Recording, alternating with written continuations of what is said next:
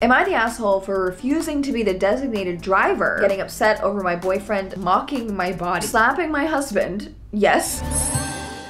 Hey everyone, welcome back to my YouTube channel. My name is Sam, otherwise known as Snerixx. Sorry about the little mini break that I took there in putting out videos. I actually was just celebrating my birthday and I just wanted to take a little mini vacation. So thank you to everybody that sent me really sweet birthday messages. It just made my heart so, so happy. I thought it might be fun to switch it up a little bit and play a little game of the classic Am I the asshole? I feel like I'm a pretty good critic and, and, I can give some pretty good neutral feedback. So I pulled a couple scenarios from Reddit that we're gonna read here. First one, would I be the asshole if I broke up with my girl because she thinks Wi-Fi causes cancer?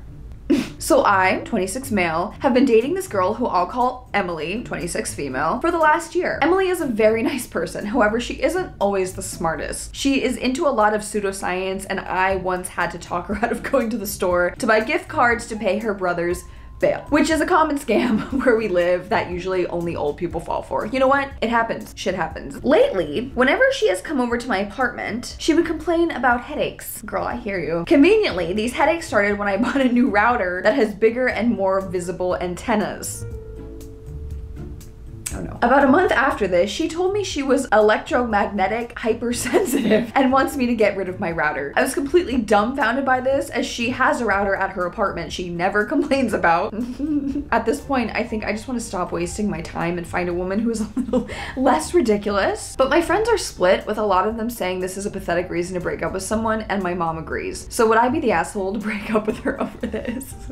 Immediately, I think of Jillian from Family Guy. This is giving me Jillian vibes. That's okay. We love the Jillians of our world, okay? Did they say how long they've been dating for the last year? Okay, so it's been a year. This is kind of a decent amount of time that you guys have been together. It's not like it was only three months or something, which I'm wondering why after a year is this now bothering you? Is this just like been building up and you're just like, okay, I've heard one too many things that now I'm kind of just like over it? Because if somebody was really this like unaware of their surroundings, you'd think you'd notice that like within the first two months who knows? You know, I think if you're in a situation where you're even considering or have that thought kind of going on in your mind where you're like, this is enough for me to even consider this, I'm always of the mindset of if you're not happy or if you are thinking about hooking up with other people, either be honest about it and have a conversation and see if that can be salvaged or figured out, or just break up. Grow up and break up. I like that. Even if you feel like an asshole for it, I mean, it's better to do it than to just string somebody along or just to be in a relationship that you're unhappy with, which comes with resentment resentment, um, infidelity, a lot of things that could be avoided if you just are honest. With that being said, I'm not really sure how you would address this either. That's kind of the problem with this particular situation. This isn't something that you can really like talk through. If it comes to somebody's intelligence or like I said, awareness, you can't really have an intervention. What are you supposed to tell somebody to go back to school? I don't think you'd be an asshole for breaking up with somebody for any reason. It's more about the way you do it would constitute whether or not you're an asshole in this situation because that's kind of a hard conversation and you're gonna have to either be really honest, which is is could be kind of mean or you're gonna have to lie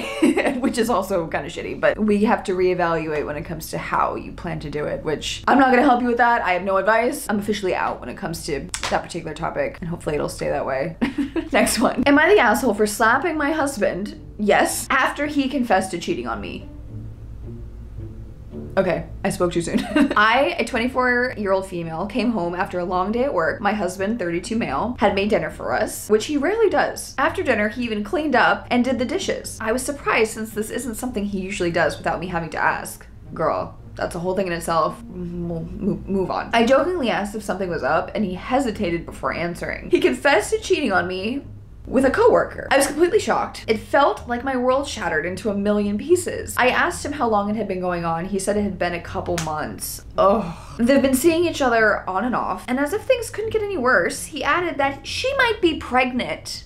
Okay, the slap is starting to sound a little bit more justified. I think I'm switching sides. That's when I lost it. My whole world was spinning and I suddenly felt this rage come over me. I slapped him across the face and called him every name in the book. I told him to take his stuff and get out. Fair. Valid. Kick his ass to the curb. His mother's been blowing up my phone asking me to talk things out with her son, telling me how wrong it was for me to slap him and how heartbroken her son is over the situation. Oh, poor baby. So if he didn't cause it. I haven't responded yet since I haven't been able to gather my thoughts yet This whole situation just feels surreal to me. I can't believe the man I planned to spend the rest of my life with betrayed me like this. Was I wrong for how I reacted? I usually am on the side of never putting your hands on anybody, and I still stand by that, absolutely. But I can understand why somebody would get to that level. Obviously, if it was the other way around and this was a man telling the story, I think I would have a little bit of a harder time defending it. So I do want to at least acknowledge that. Let's just break down little bits of this and then maybe I can come to a decision here. Number one, obviously, is the fact that this man doesn't cook dinner or clean up. And granted, everybody's household is different. So if that is an understanding between the two people in the house and that's what works for them, like, cool, no problem, no judgment, nothing. Just based on the way this was described, it sounds like maybe that's not necessarily the case. That just might be how the roles ended up happening. So I'm already kind of feeling ick about that. And then we get to the actual confession here, which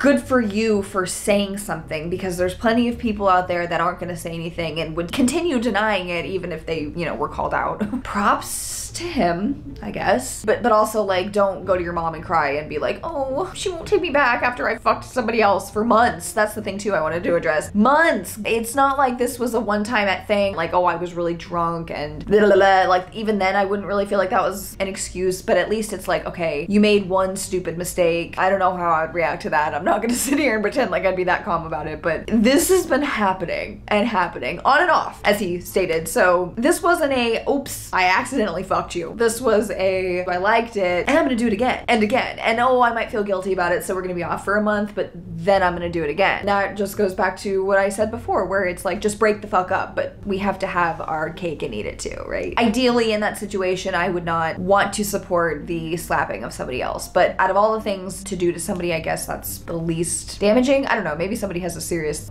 backhand. There are the J Rows of the world out there. The whole thing with the mother the parent, get the fuck off my phone. Don't text me about your son.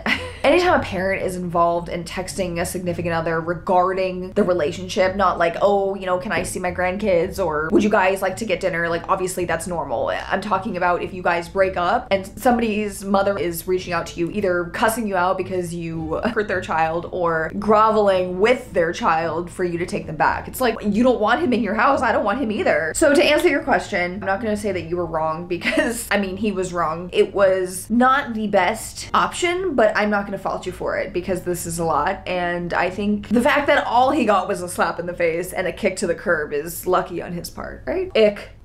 Am I the asshole for telling my friend I no longer hang out at her house because her dad is creepy? Oh no. We're both in our early 20s, females, and met in college. She lives with her dad and he regularly works from home. She's been inviting a bunch of her girlfriends over recently, and at first I was having a good time. However, her dad started to act creepy. Examples are staring a lot, forcing awkward conversations, asking weird questions when no one is around. I've privately talked with my friends, and they all said this wasn't happening to them. Well, over the last couple weeks, my friend has been bugging me and asking why I no longer turn up. At first, I was gonna spare her, but she was insistent in making up reasons. For example, she thought I was being shady, thought I no longer liked her. Finally, I was fed up and I told her the truth. She got very, very mad and accused me of lying. She said her dad would never be that creepy and that I am attention seeking. Ooh, we had a massive argument and now she's telling everyone that I'm a lying awful bitch. Am I the asshole? I mean, just to break it down and get to the actual basics of this, if you feel uncomfortable around somebody and your gut or instincts are telling you to stay away from this person, I'm not gonna consider that a toxic or asshole move. The dynamic of someone's father kind of getting you when you're alone, saying creepy things, which unfortunately we don't have examples of that. So, you know, everybody's interpretation of what's creepy and what they feel is appropriate is different. This kind of sucks because your friend is caught in the middle here, and obviously somebody saying that your dad is creepy or saying or doing creepy things is going to trigger some sort of defense. I mean, this is her dad, and I'm not saying that this is untrue or that, you know, this person shouldn't have been honest. The friend was already kind of upset and getting frustrated because this person hadn't been coming to the house in a while. So I don't know. If you're already feeling isolated, something's not right, it's better to be safe than sorry. And unfortunately, if a friend can't can't understand that or respect that, that's not your fault. You know, to answer the question, no, I don't believe that you're the asshole. I don't really think anybody is the asshole in the situation besides the dad. That just, that really is a shitty situation and probably a ruined relationship because of somebody that isn't going to have any consequence for their behavior in all of this. So, am I the asshole for refusing to be the designated driver because I'm the only one that has a car? Oh, okay. This seems like a minor thing to most, but it has been eating at me and I'm seriously considering ditching this friend group for this. Oh, here we go. Whenever my friends and I, all in our early 30s, go out to a place that is slightly out of the way of public transportation, it's the expectation that I'm automatically the driver because they all live in the city and none of them have cars. Okay. They do contribute to gas and parking money and they do say thanks, but I'm sick of never being able to have a drink and let loose. Oh, I suggested a couple of times that we take a taxi or an Uber so everyone can have fun, but that is shot down because they think it's too expensive. Last time I went out with a couple and they both sat in the back like I'm a freaking taxi, I didn't even know what to say because I was just stunned by this. I don't know if this is common or not, but I found it incredibly rude. And that was the final drop that is making me consider dropping this entire group. Admittedly, they are a fun bunch to hang out with, but I feel like I'm only included for being the handy friend that they can rely on getting them places instead of them actually liking me. So, am I overly sensitive or are my friends just kind of meh and I'm better of spending my time elsewhere? Having a car when nobody else has a car is definitely both a cool thing and a really shitty thing because of this exact reason. As somebody with the car, you have all the power. That also means that you might get stuck being the DD. But it shouldn't be every time. I absolutely agree. Unfortunately, it's not really a situation where everybody can take turns driving unless, of course, you're okay with somebody else driving your car and you can drink that night or to just all split it all the time. I mean, if you feel like it's too expensive to take an Uber and your only option is to keep putting this same friend out, forcing them into this role that they're gonna cart you around and drive your drunk ass home and you're gonna have a splendid, fantastic time while the DD has to just sit there and watch. Usually that's only the case if somebody is sober or they don't drink for whatever reason and they're cool with being the DD because they're not gonna drink anyway. I can understand maybe a bunch of like 21 year olds who are just literally like, we just wanna drink and we're in college and we're not really thinking, you know, we don't have a car or whatever. It's not really like that. Like you guys are, you're adults. If going out is too expensive, then you don't get to go out. You know, don't get as many drinks if the car ride there is too expensive. Like save your money for the car there and back. Or like, can we not go to a bar? Can we just get food and no one drinks so everybody can like walk or like figure it out? I don't know. Not fair and annoying. You are not the asshole, especially because you have said something. Why would I keep going out with you when I can't drink? What's the point? This doesn't have to be happening. if they can't be respectful to you, I'd walk. And maybe they'll take you seriously because they're gonna be shit out of luck when they don't have a car or they're gonna have to find a new friend that has a car. They'll just replace you and then you'll know for sure that you were just their car friend. Am I the asshole for not letting a woman with an empty stroller use the elevator before me? Oh my god. My partner is a severe people pleaser, same, and goes out of his way to let people go ahead of us all the time. To him, everything revolves around the comfort of everyone surrounding him in public. I could not relate to those words more. I don't push or force my turn in anything, yet sometimes I'm made to feel bad for taking the turn I've properly waited for. Yesterday, we were on the fifth floor of a store. Wanting to go down faster, we took the elevator. I pressed the button, and we waited alone for about two minutes before a lady with an empty stroller started queuing with us. A few minutes later, the small elevator arrives. It fits about five people comfortably and arrives with three girls already in it. I step in, knowing only both of us will fit, and my partner calls my name, asking if we shouldn't let the lady go first. She did not ask him, he just came up with it on his own. I bluntly said to him, No, we were here first. He then steps in, and I ask him what would happen if we let her go, and then another lady or man showed up with a stroller. The stroller was empty, and the only way I'd let her go first would be if a kid was screaming inside the stroller. Like I said, I'm a huge people pleaser. I am also very weird about taking my turn or being in a spot in line and not getting cut because I don't like feeling walked on. The difference here is I want to make you feel comfortable and make you feel happy and make everybody around me feel like they don't have to pick up a damn thing off the floor. But if I feel like you are actively trying to take advantage of me, then I get a little defensive and that's when I'll actually like put my foot down. In a situation like this, I am 100% on the writer's side. I think it's it's very nice for somebody to offer your spot in the elevator. They made a good point in saying, well, what happens if, you know, more people keep coming up? Are you just going to keep letting people go in front of us? At some point, you have to be a little bit assertive and stand up for yourself and just know that you have to take your turn. Like, you don't need to wait for somebody's permission or to make sure everybody in the room is okay with it. You know, especially because the woman didn't even say anything. If this person was making a big stink about it, I would definitely put my foot down and be like, you can fuck all the way off. I think if I was with the stroller, I'd be like, oh, no, no, no, like, you're good. I'll just wait for the next one. I really don't want to cram into that elevator. I would much rather take the next one and hopefully be alone. I would also be kind of pissed too if I had already gotten in the elevator and my significant other tried to like tell me to come out as if I did something wrong because I really don't like being wrong. I've made a decision here, like, we're kind of a team, right? Like, if I go, you go. You jump, I jump, right? It's just being nice to the point where it's now kind of fucking you over. I don't think that you're an asshole at all for not letting a woman that came up behind you with an empty stroller jump in front of you for literally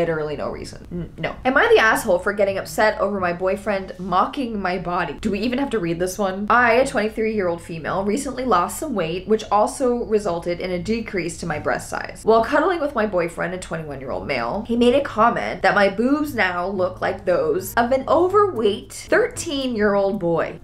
Do we need to continue? I know he meant it as teasing and didn't intend to hurt me, but it still impacted my confidence. Am I the asshole for getting upset over his comment, or should I just brush it off as harmless banter? Edit. We do tease each other on a daily basis, but I never commented on his physical appearance and always reassured him about whatever he could be self conscious about. On the other hand, he did say some mean stuff about my physical appearance as a joke that I didn't really appreciate, but then again, I know he doesn't even realize how bad they are. When he made that remark, I sulked to the side and told him that was a mean thing to say. He didn't understand that it could really hurt me and just try to make me feel better without apologizing for it, which he did now after seeing some of the comments. Okay. You're stupid. Why would you say that?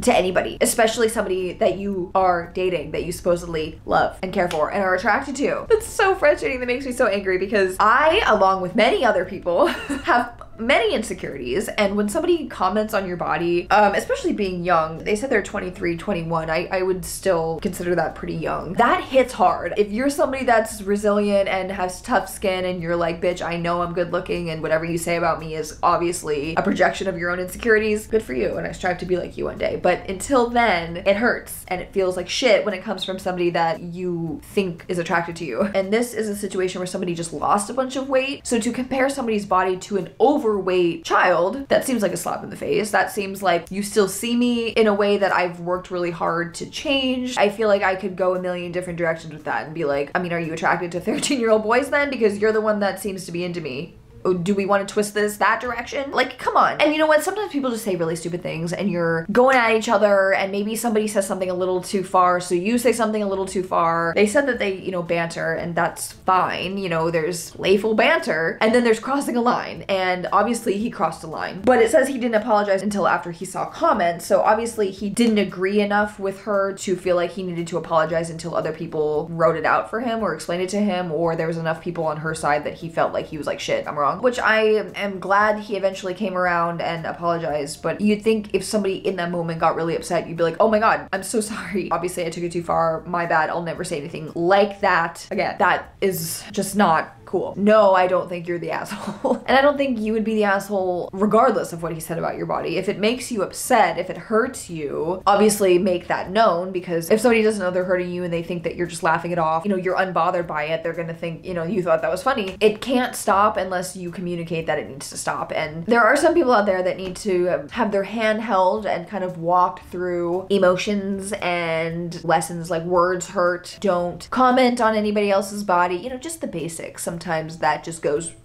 right over someone's head. And we have people like this. It kind of depends on how you handle the aftermath of that that i think would determine if this was really a problem or not. Because if you sit there and say i'm sorry oh my god i'm so sorry i didn't mean to say that to you and then you say it again bitch no. You clearly aren't sorry and you clearly don't get it. And now you're just saying hurtful things because you know now that it hurts me and you're saying it again. I'm just gonna say this. If you are with somebody that has made you feel some type of way about your body that is anything other than positive and loving out the door they go. Up the chimney through the fucking attic roof. I don't know. Get him out because absolutely not. No way. No way. If something hurts you, it hurts you. And that's valid in itself that it should stop, you know? Am I the asshole? My mom wants me to pretend my sister is a good person. Family problem. Okay. So my sister lived with me and or my parents with my financial support for many years in exchange for her agreement to help care for my elderly parents who also live with me but are financially self-supportive. Then she had weight loss surgery and got a boyfriend and moved away with him. Okay.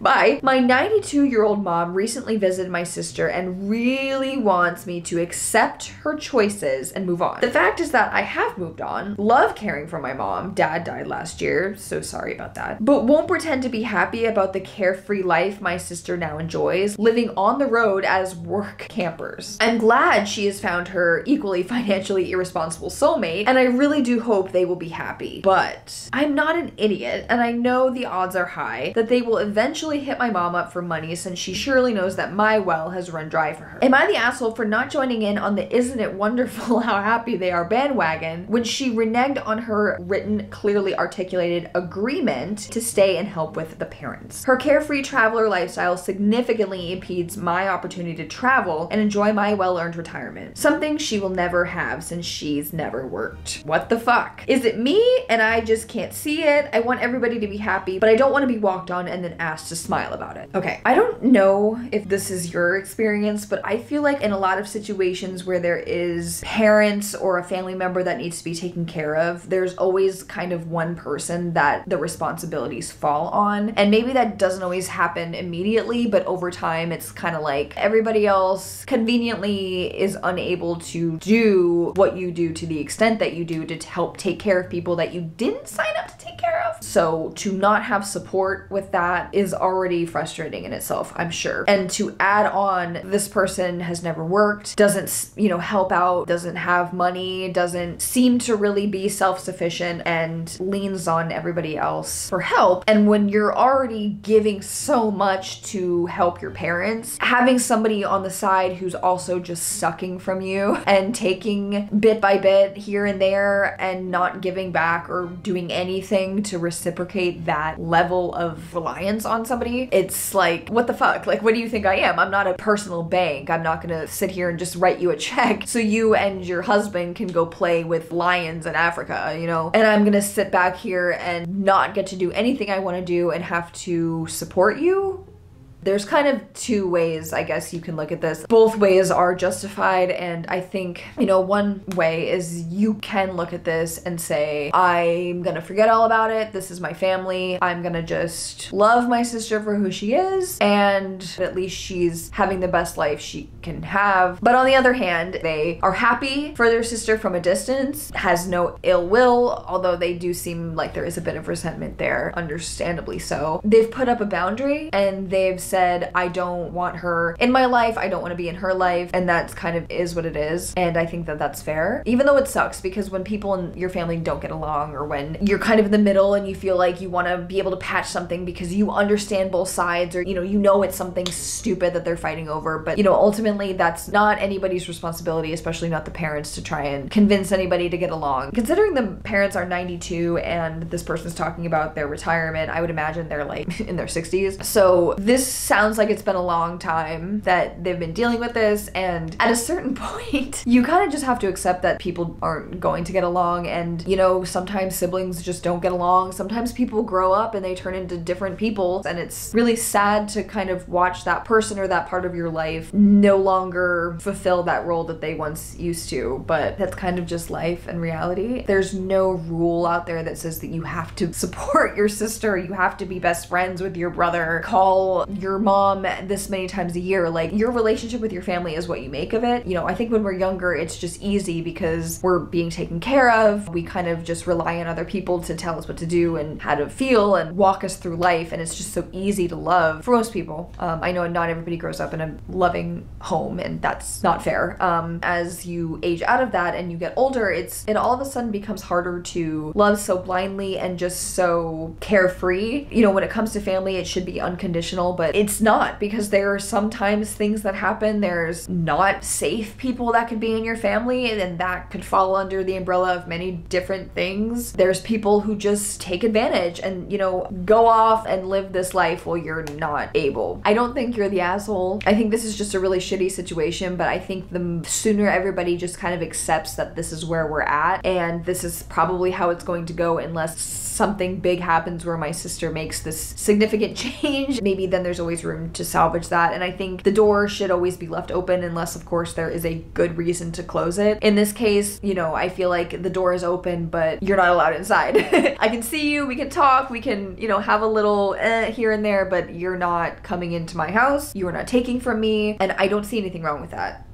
I'm pretty sure I said every single one of those people were not assholes. So I don't know if you would agree with me on that one. I wasn't expecting that outcome, but let me know what your thoughts are on any of these situations. And if you have any Am I the Asshole story, any rant, or any silly videos that you want me to react to, make sure you tag me in them on Instagram, TikTok, or you can send me an email. And just a friendly reminder, I am not on Facebook. There has been a account specifically that's been a problem for a while now. One of the bigger accounts that is. And they were posting, either were hacked or they were posting some explicit photos, not of me, like just random women with links to, you know, keep an eye out for that shit. I know that this is happening with a lot of creators on Facebook. So if you're following any creators on Facebook, just be very aware uh, that might possibly not be them. Yay, if you're a lawyer, please help me because I'm losing my mind. All right, you guys, I appreciate you for being here and I will see you next time. Bye.